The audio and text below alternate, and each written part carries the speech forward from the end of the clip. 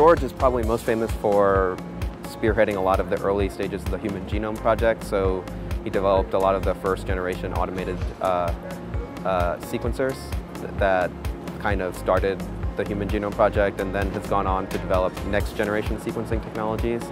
Um, and that's, a lot of that work has been in just trying to discover the genomes and understand them.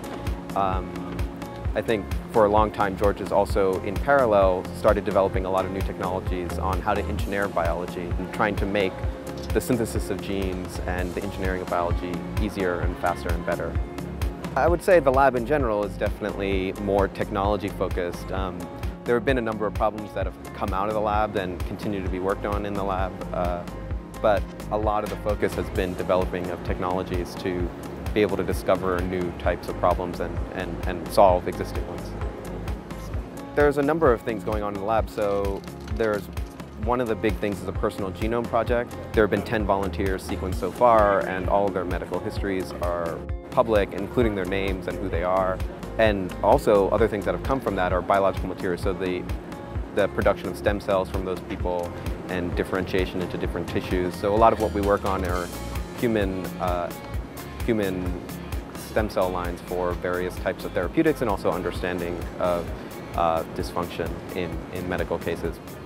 To a large extent, initially to get a catalog of, of who we are and how we differ and, and how that might apply to how we treat ourselves in medicine and also how we, uh, to some extent, engineer our own, our own systems and how that changes amongst the population.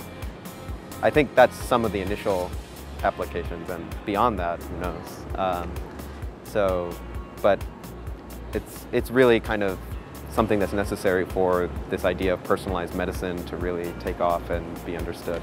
But you know, it's, it's at the very beginning stages, and as technology improves, I think a lot of this will seem a lot less fantastical, I guess. We also work on a lot of biofuel related aspects, so more on the bacterial and, and uh, algae side. Um, we have a center for uh, trying to discover uh, novel pathways to make better biofuels. So the lab's very diverse in its applications, but I think the unifying theme is technology development to get at some of these problems that have been a little vexing.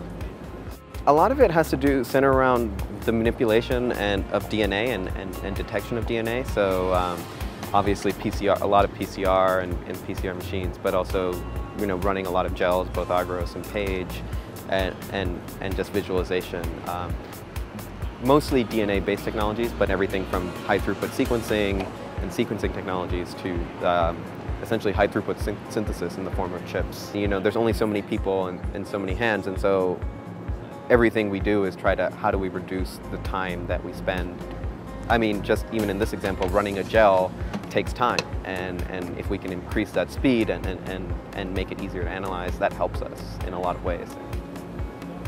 When we had the opportunity to try the, the EZ system, uh, what ended up happening was basically everyone switched over to it, mostly because it was very fast and easy to use. There's no futzing really with uh, you know, zoom and, and focus. It, it automatically does most of that and sets the exposure, and the images are great.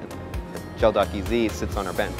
And so it's right next to where we run our gels, so we can quickly just see if our gel is run long enough, um, which has really actually changed the way we use the gel imager. So we, now we don't just use it as our final picture, we actually just put it in there to check how far it's run.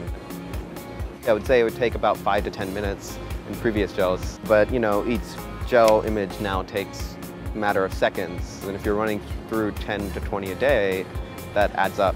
And so it, it, it could easily save us hours in a day, depends on the day.